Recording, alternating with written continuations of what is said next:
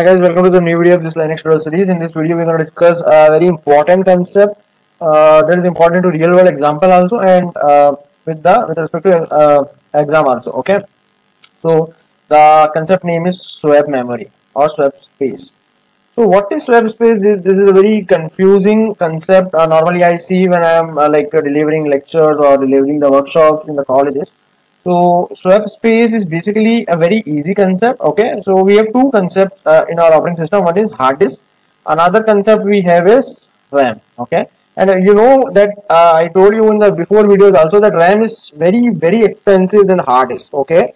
So the 8 gb of ram is costing around uh, 1 tb of hard disk nowadays okay? That's you know so and uh, you you also know one thing that program will store in a hard disk but program we can't run as user because CPU will not access hard disk directly. So that program we have to move to the RAM. That program when moved to the RAM is known as process. If you don't watch out my video of this uh, third or fourth video, please watch out the video if you want to know exact the difference between program and process. That's a very core concept of operating system. Nobody will tell you in that deep. Okay. So this is a process when the program moves to the RAM. Okay. And you want to run multiple tasks at the same time, let's say I want to run VLC, I want to run some media player, I want to run some movie at time or multiple things, game, music, multiple things. So RAM is very limited in memory. So we can't run all the things together. And in the background, some scheduling algorithms also running in the OS that are called like CPU scheduling algorithms. Okay, and uh, if the RAM space is full, or you can say there is a concept of called deadlock. If you don't allocate a CPU or a proper space, you will fall in a condition of deadlock that's not a good practice okay? So that's why here is the concept of swap space okay? Now what swap space is swap space is like a space in a hard disk. Some amount of space in hard disk and there is some formula to calculate also like how much swap space generally or in standard we uh, want to have in a system uh, so that a formula you can read from internet okay? Something 2x of ram we need some some amount of uh, some formula is there okay but the concept is when RAM is full or when processes are there in the RAM and those processes are such in a huge number that RAM is almost getting full. So there is a use of swap space. Okay, so there are multiple processes in a RAM and inside a process you can think there are multiple pages. So process uh, you can think of like program is moving to process and inside inside process there are various pages. Those pages will execute one by one you can think of like that. Okay, so this is RAM and this is some hard disk and some in the hard disk some specific amount of space is allocated for a swap okay? And when the RAM is almost getting full those inactive pages of process will be moving to this swap space. Okay? Those inactive pages inactive pages means like you are playing game but in the background because of your game sound your music player is uh, like music player is also kind of process and the process of pages. That is not in the use but those pages will be still on the ram because the process or program is open in the background also but they are not getting in use so they are inactive for us. So automatically those inactive pages will move to the swap to save the space more or to save the ram more. And once we close the game and if you want to play music again those pages will again come back to the ram. Okay that's the process happening in the background.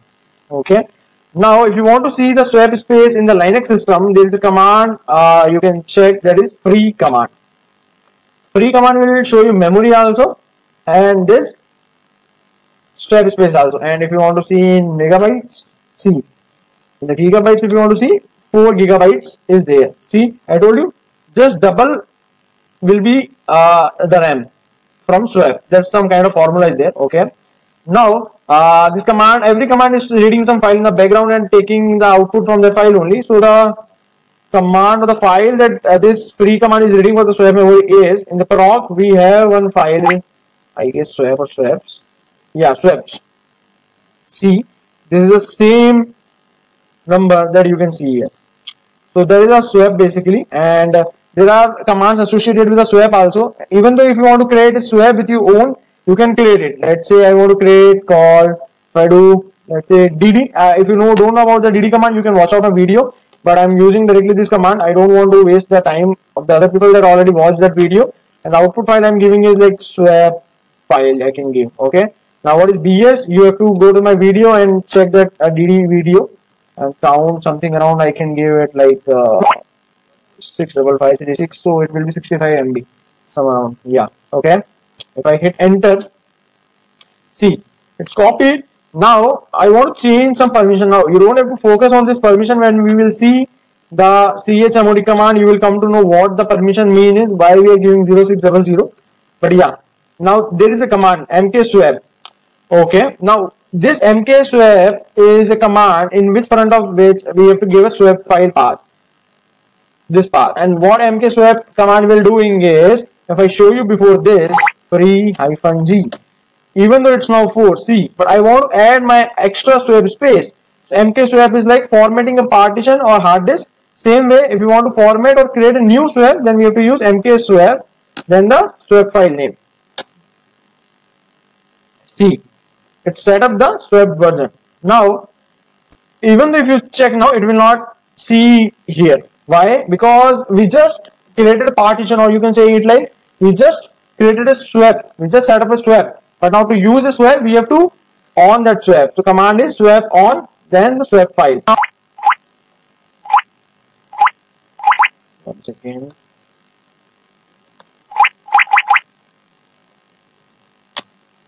so I done this and if I check now even though it's 4 only why? Because I enable the swap okay? But the swap will be turned on after the booting time okay? This is because of swap. On command is built in a way uh, in this way only. Yeah but uh, apart from swap on we have another command that is uh, if I show you swap off.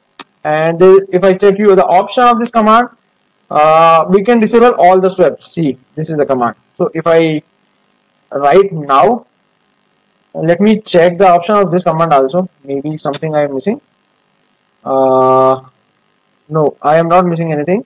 So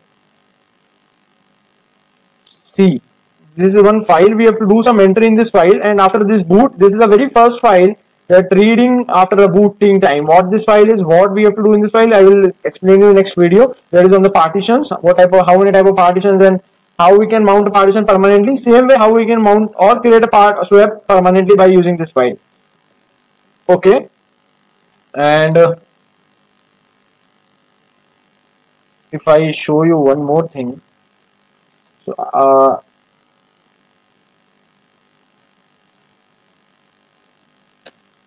what I'm showing you? I'm showing you swap off. Yeah. So if I do this swap off and I want to disable all my swap space I don't want to uh, enable it because sometimes that's not a good practice to enable swap. So I'm disabling it. If I now do free hyphen g see now it's zero. Okay. Now if I show you the proc and the swaps see nothing here. But again if I reboot my system very quickly so init6 will help us to reboot my system. So let me give you some context on that file okay? When we are booting the operating system again the operating system is a process only and in the background the processes are moving to the RAM. So the one of the process or one of the file that will read by the operating system once it's booted up the very first file that will read by operating system is etc fstab now what the file uses not i'm going in detail but you can think of whatever the entry in this file regarding the partition or swap those want to make if you want to make permanent those entries we have to use this file. That means even though i deleted swap off it will again come back because the entry is here in this file. If i want to delete that swap permanently i have to remove the entry from this file okay? Now if i show it to you very quickly let me log in again and i will show you the free hyphen g command. Again the 4 gigabytes of the swap space will be come back. So that is a basic use of swap space and it's not a good practice uh, to use a swap again in the question or again in the uh, exam of yours you will see one question based on this on the swap now let's let's wait for a minute only. It will be putting up. So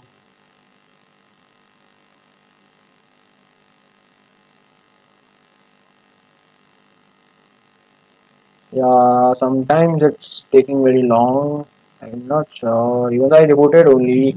Uh, but yeah, let's let's wait. In the background, if I show you somewhere, somewhere you will see etc fstab is read by the operating system.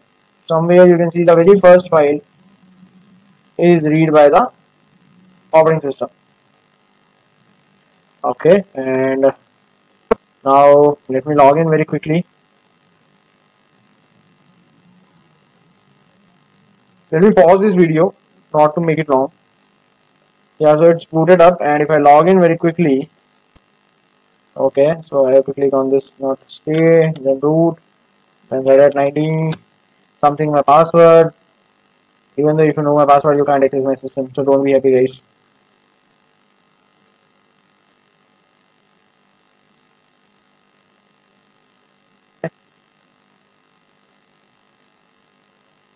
Okay it's booted up completely. Now let me open my terminal. And if I write a command very quickly that is free hyphen g see again 4 gigabyte. If I now very quickly show the file which file etcfstab c. Swap that's why it's automatically come up again so that is the use of this file. We will discuss this in detail but yeah that's all for this video. In the question in the exam we will get on one question on this. Like what you have to do is you have to disable the swap. And don't forget you have to first swap off hyphen a. But even though if you do this thing only only this command you will uh, lose your that question marks. So what you have to do go to the etc fstab and remove the whole entry of that swap. So that's all about this video if you have any doubts uh, regarding this video you can post me in the comment box or you can reach out to me on linkedin. So thanks for watching the video. Subscribe the channel hit the